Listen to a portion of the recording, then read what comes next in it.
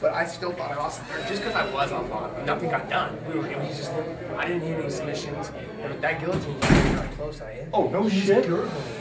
Yeah, you was. So are you. No, I was. The first one, You, I'm you like, hear mine? I need one of those shirts. I love that shirt. Yeah, you like that? Yeah, yeah. Can you give me one?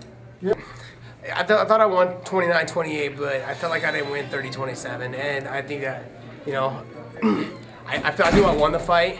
I did more in the first than he did. This the guillotine. It wasn't as close as people probably made it out to be. I was gurgling a little bit, but um, I was never really like, okay, I'm gonna tap, you know. Um, and uh, other than that, though, I felt like I did a lot more. The second, for sure, I think I won.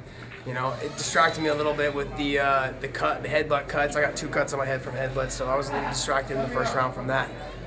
But other than that, though, I mean, I felt good. You know, I felt uh, like I dominated the whole second round, uh, being on top, uh, doing a little bit of damage, and uh, other than that, I'm good. You know, third round, I wish we could have done more. Felt like he was just holding me on the bottom. Um, I could move a lot. Um, they, the guillotine I went for was kind of tight. I heard him kind of like, you know, making noise and stuff. So uh, it was okay. I mean, I, I expected a lot more. I, I wanted to do a lot more. Uh, it's just one of those fights where you feel like everything kind of, you know, to be honest, after the shitty camp I had, I'll take the W. That's the bottom line. it was a horrible camp.